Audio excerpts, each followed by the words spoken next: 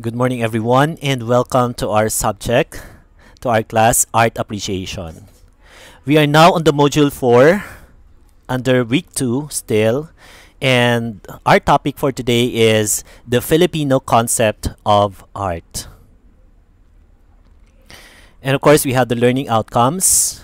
We have to discover the Filipino identity through the arts, and we have to apply the Filipino sense of art in the appreciation of art. We have the references, the readings, and the videos to watch. Only in the Philippines. This is an expression of pride in what we feel, our activities, attitudes, and aspirations that are uniquely Filipino. Yet, this is also an expression of frustration and exasperation about systems and situations that we know are corrupt, unjust, or simply not good enough. In today's lesson, we will discover the two sides of the same coin. Both are necessary elements to motivate us in steering our nation into a brighter, peaceful, and just future.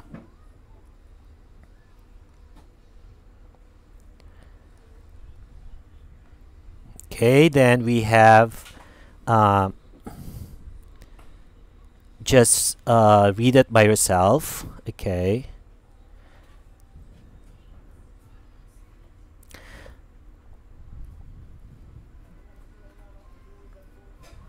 Okay, now let's begin.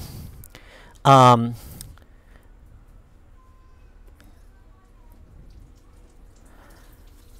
on the Western concept of art, Okay, and the Western concept of art, um, we have the three, three categories.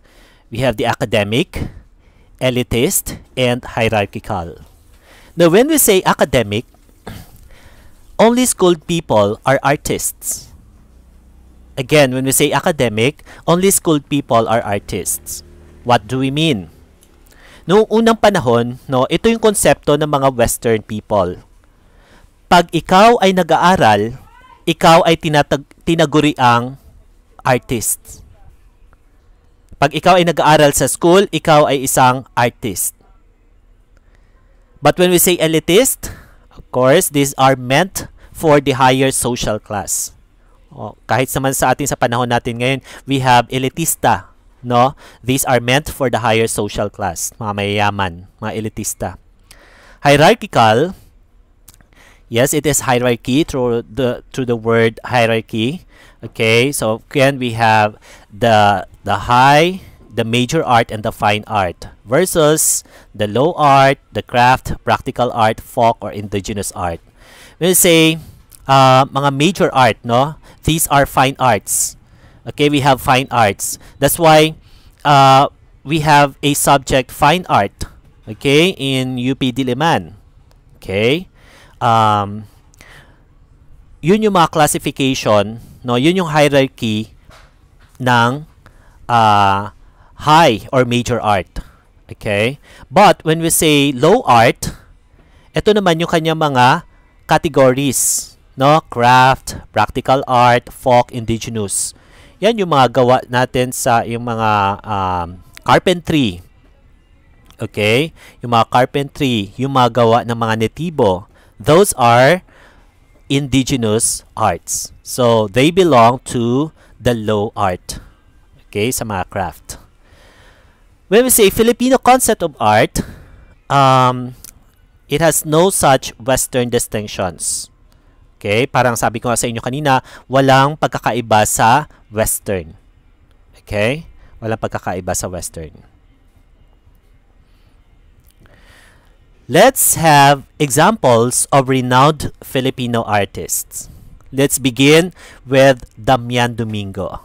Okay? Sino nga ba si Damian Domingo? Okay? Uh, Damian Domingo, he is the father of the Philippine painting. Okay?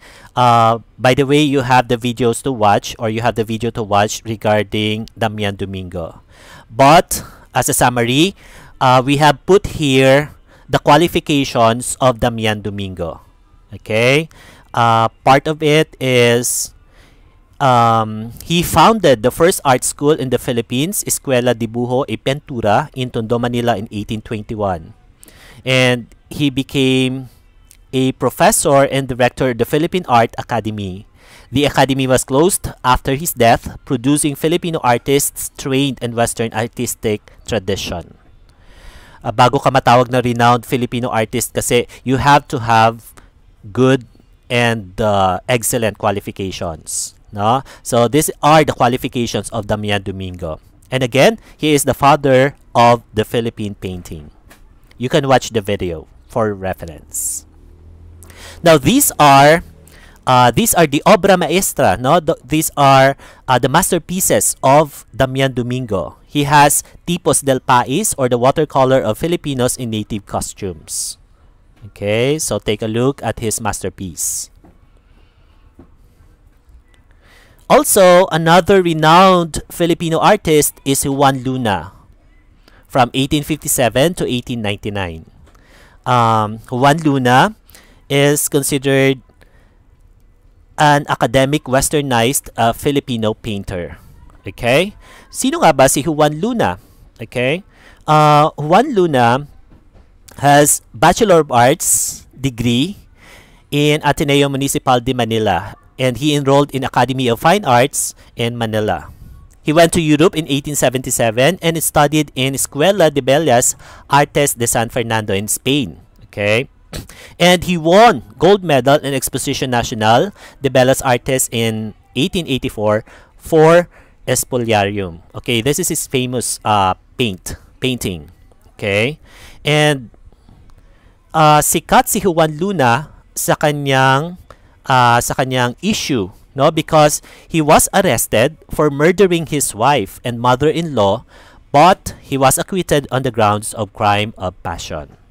Okay, so pinatay niya yung kanyang asawa at yung kanyang mother-in-law. Okay, but was acquitted on the grounds of crime of passion. Uh, perhaps sa selos, no? Sa kaya nagawa niya yun. But again, um, he was acquitted. No, napawalang sala ang kanyang ang kanyang pag-aresto, ang kanyang uh, uh, pag-murder, no? Pagpatay sa kanyang asawa at sa mother-in-law because of the crime of passion. Okay, so that is Juan Luna. Let's take a look at his uh, painting, Espoliarium, no, in 1884. Okay, so this is the painting of uh, Juan Luna, and it won gold medal in Exposition Nacional in Spain. So the style of his painting is neoclassical. Okay, so take a look at his painting. Okay, um, I think this explains on the painting, ito yung kumbaga parang pinahihirapan tayo, no? This is the time of uh, Spaniards colonization. And it's and it illustrates here kung paano pinahihirapan yung mga uh, Pilipino, tayong mga Pilipino na mga Kastila. Also, we have Felix Hidalgo, and his famous painting is Las Virgines Christiana no? Las Virgines Christiana. And it won eight uh, silver medal in Exposition Nacional during 1884.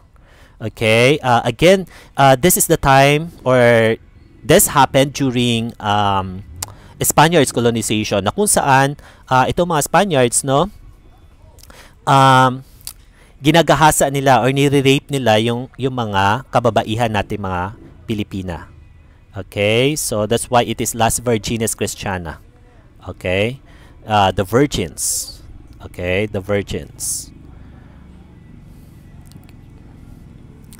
That's why on sabi ni Rizal no sa kanyang speech, sabi niya, winning the exposition had proven that Filipinos were equal with the Spaniards so that the Filipinos deserve the recognition of other people in the world with equal dignity and respect. Which is true. No? Which is true. Uh, kahit gaano man tayo inapi ng mga Spaniards, and yet, we deserve a recognition. No? We deserve a recognition of other people in the world with equal dignity and respect. Okay? That is the uh, that is the summary of Rizal's speech. Okay, this is the painting again of Juan Luna, España y Filipinas in 1886. Meaning Spain and the Philippines. Okay? So, dito pinapakita, no, one positive way of looking at the Filipino identity in the arts is to see the Philippine art as integrated in the Western art. And these two traditions are uniting and harmonizing with one another. Okay? The Philippine art and the Western art. So, makikita mo dito, no, uh, nagsama yung dalawang kababaihan. Yung isa ay uh, Spaniard, okay? Isa ay Spaniard or European at yung isa ay nakasuot ng uh, costume na pang Pilipina. Okay? So, again, it says here, these two traditions are uniting and harmonizing with one another. So, Philippine art and Western art harmonizing with each other. Oh, uh, we also have Tolentino. No? We also have Tolentino. At yung kanyang famous uh, obra is the Bonifacio Monument in 1933. Okay, so I don't know if you have been there in in the monument, no, uh, but the style of his uh, the style of his art is neoclassicism. We also have uh, Amorsolo, Fernando Amorsolo, no, um, the style of his heart, uh, the style of his heart is um, romantic realism. Okay, romantic realism, uh, Renaissance art, Impressionism. Um, ito ipinapakita ni Amorsolo no sa Planting Rice. He entitled his painting as Planting Rice, but here ipinapakita niya yung uh, pagiging romantiko, no? Pagiging romantiko ng mga Pilipino sa pamamagitan ng pagtatanim. We also have Manansala. Manansala is famous on his transparent cubism. Okay? Um, kuha ito, no, or this is a uh, this is a scene, isang eksena sa isang market, no? Uh, that's why pinangalanan niya to. He entitled this painting as Market Scene. But take a look at their dress. Okay, mga kababaihan. No? Um, yung kanilang kasuotan ay transparent and cube no transparent cubism that's why uh, the style of his painting is transparent cubism no yung kanilang damit ng kanilang kasuotan ay ma-transparent and at the same time uh, cube no para ma-cube okay cubism that's why it is transparent cubism La Marosa uh, the style of his painting is more on surrealism Okay? He entitled this painting Ecology Series in 1978. And say surrealism parang akala mo totoo, no? Mukhang totoo yung uh, totoo yung painting. Okay, surrealism. Jose Hoya. Okay, Jose Hoya is the Filipino action painter. Okay?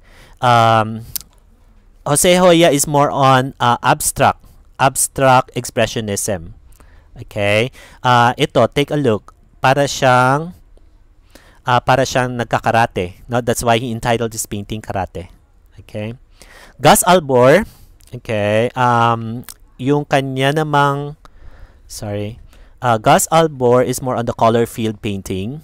Okay? He entitled this as Upward Duality.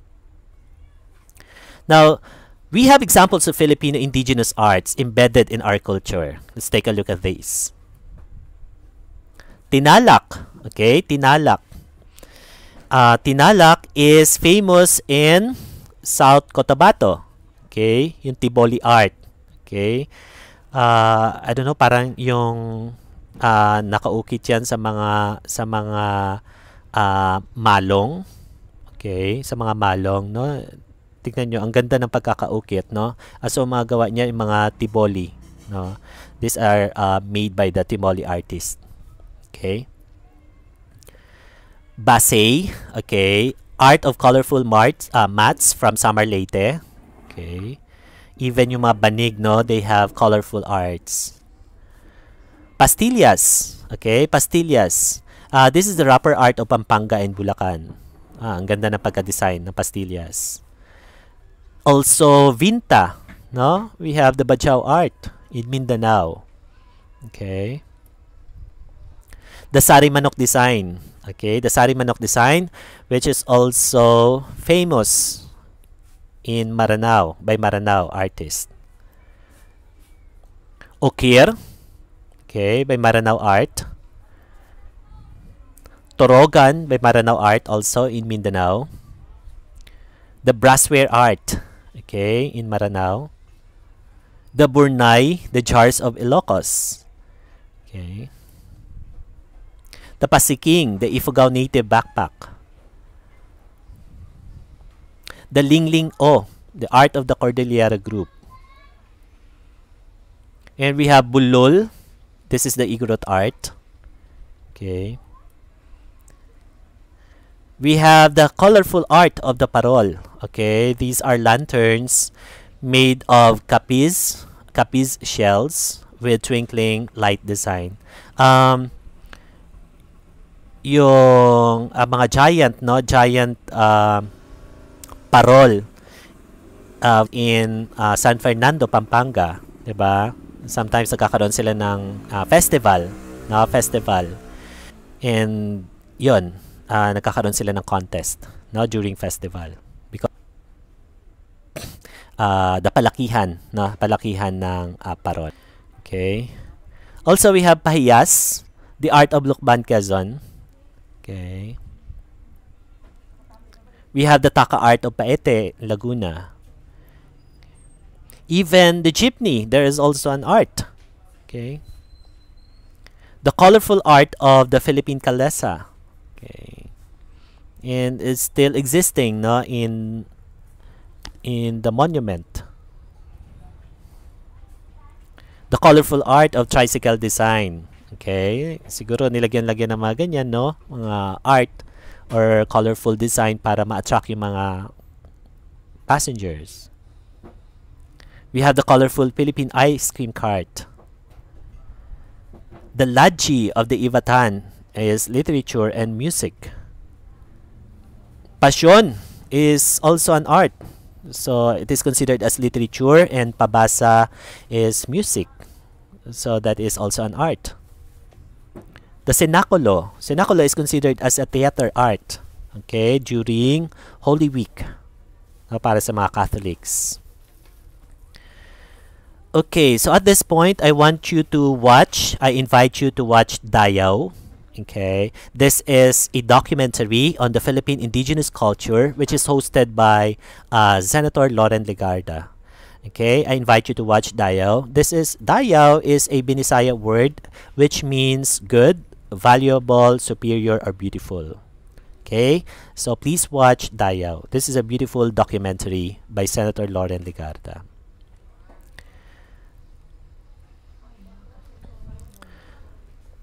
The principle of cultural identity does not mean that cultures cannot be criticized.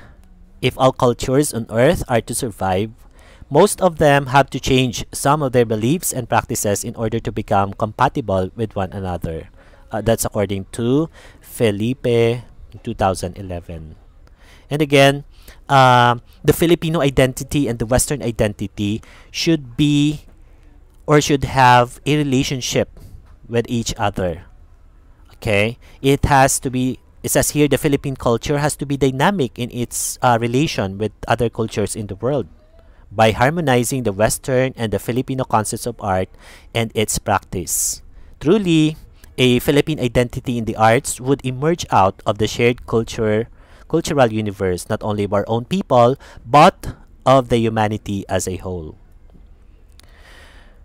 Okay, and now we will have a chapter activity. Now for your activity, you will have an individual activity. Along the sidewalks or local shops, find a native Philippine product or work of art such as basket, bracelet, hat, rags, textile, sandals, or etc. Okay? uh, for example, you are walking, okay, or namamasyal ka sa namasyal ka minsan sa SM or sa Robinson or sa NCCC. Okay, or kung saan mang local shops diyan. Tapos, nakakita ka ng Philippine product. Okay? Philippine product, okay, mga work of art such as basket, no, or mga bracelet. All you have to do is to make a documentation of the artifact. Okay, siguro pwede niyong picturean Okay, just take a photo of it and then you answer the question, where did you buy it? Okay, but of course, uh, but of course, uh, you don't need, okay, you don't need to buy it. Okay, all you have to do is to make a doc, uh, all you have to do is to take a photo of it. Okay, and then, uh, tanungin nyo kung magkano yon or tignan nyo yung presyo kung magkano and what is its local name. Okay, what is it made of? Okay, is it made up of wood? Is it made up of metal? So how about the color, the size, or other information? Now you have to write a one paragraph essay answering the question, how does the product or artifact express the Filipino concept of art? Just one paragraph essay. Then use the paper provided for this activity. Okay, you will see the paper. Uh, you will see the paper provided and it's already posted on uh, the Google Classroom. Okay, the paper. Now, please be guided again by the rubrics for your activity 1. Here are the rubrics. Okay, and then please be ready for your chapter test. Okay, that's all. Uh, that ends my presentation for this module. Thank you so much.